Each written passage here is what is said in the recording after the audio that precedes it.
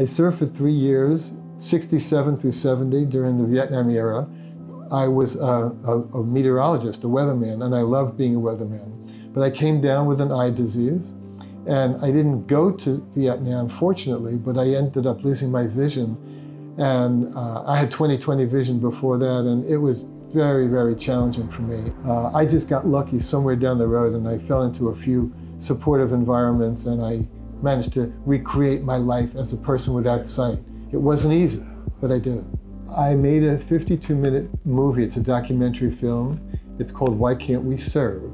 And it's my best attempt to try to help reduce the number of veteran suicides taking place in our country. And every day, 22 vets are finding reasons to take their lives, and it's not okay.